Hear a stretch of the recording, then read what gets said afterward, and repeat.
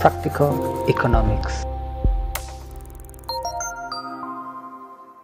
Today's word is a follow up word, and the word of the day is bearish.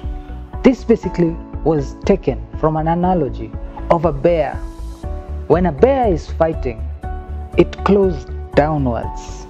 So basically, when a market is dropping downwards, that basically means the market is bearish. There are also bearish traders and participants in the market. These are people who are excited when they see the market is falling.